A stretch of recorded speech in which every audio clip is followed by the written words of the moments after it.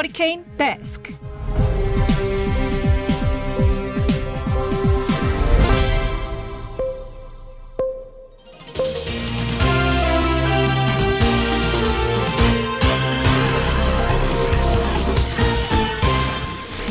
먹고 살기 힘들어도 지나치면 안 되는 세상 소식 전해드립니다. 허리케인 데스크. 첫 번째 소식입니다. 앤서니 파우치 미국 알레르기 전염병 연구소 소장이 화이자의 코로나19 백신이 마스크 쓰기나 사회적 거리두기 같은 공중 보건 조치들과 결합하면 이번 팬데믹 사태를 종결할 잠재력이 있다고 말했습니다. 미국 제약회사 화이자는 개발 중인 코로나19 백신의 효과가 90% 이상이라고 중간 결과를 발표했죠. 파우치 소장은 이 백신이 미국 식품의약국으로부터 긴급 사용 승인을 받으면 12월까지는 가장 시급하게 필요한 사람들에게 우선 제공될 것으로 믿는다. 나도 내 가족도 그 백신을 맞겠다. 이렇게 강조했습니다. 파이자가 쏘아올린 이 작은 희망. 제발 이번에는 그저 희망 고문으로만 끝나지 않기 바랍니다. 근데요. 백신 개발은 희소식이지만 코로나19 감염자가 며칠째 지금 세 자릿수 기록하고 있어요. 일단은 긴장 유지하면서 방역에 최선을 다해야겠습니다.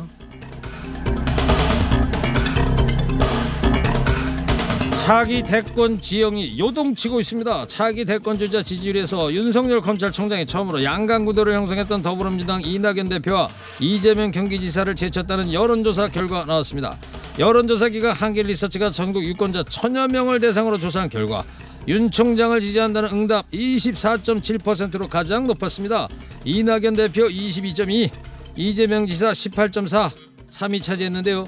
차기 대선을 1년 6개월 앞두고 윤 총장의 차기 지지도가 1위를 차지한 것은 처음입니다. 근데요 이번 선호도 조사에서 사실 1위를 차지한 게 뭔지 아세요? 여 야권 모두 차기 대통령감이 없다 이거였습니다. 국민이 성에 차는 대통령감을 찾지 못한 듯한데요. 여야 모두 더 분발하셔야겠습니다. 다음 소식입니다. 국회 법제사법위원회 예산심사 전체위에서 의원님 살려주십시오 해보라 이 발언으로 논란이 된 박범계 더불어민주당 의원이 제가 감정이입을 했다 이러면서 사과의 뜻을 전했습니다. 박 의원은 자신의 페이스북에 법원행정처가 낸 입장문을 공유하면서 제 부족함을 먼저 뒤돌아봅니다. 저는 누구보다 사법부의 독립을 간절히 바라는 사람입니다. 이렇게 밝혔습니다. 앞서 법원 행정처는 입장문을 통해서 해당 사업의 필요성을 지적하며 증액 요구까지 한 박 의원의 진의가 오해 없이 전달되기를 바란다고 밝혔습니다. 오해든 실수든 국민 세금 갖고 하는 이런 갑질 국민은 허락한 적 없습니다. 비싼 값 치러서 얻은 교훈인 만큼 앞으로 말 한마디에도 국민의 대표임을 제발 잊지 말아주기 바랍니다.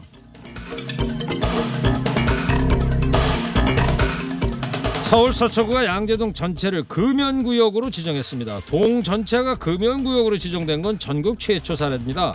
흡연자들이 단속을 피해서 이면도로로 이동해 흡연하는 사례가 크게 줄 것으로 서초구는 기대하고 있습니다. 그러나 한편에선 성실납세자인 흡연자가 설 자리가 위협받고 있다는 지적이 일고 있는데요.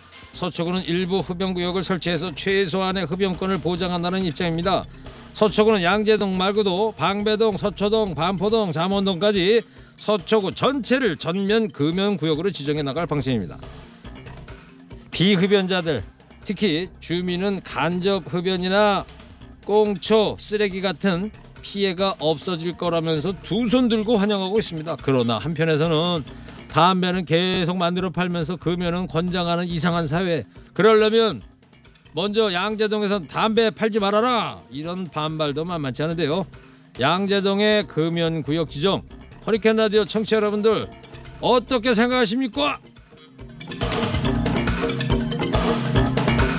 마지막 소식입니다. 검찰이 김학의 전 법무부 차관의 성범죄 혐의 사건을 부실 수사했다는 의혹을 받는 검사들에게 불기소 처분을 내렸죠. 그러자 이들을 고발했던 37개 시민단체들이 법원에 재정 신청 냈습니다.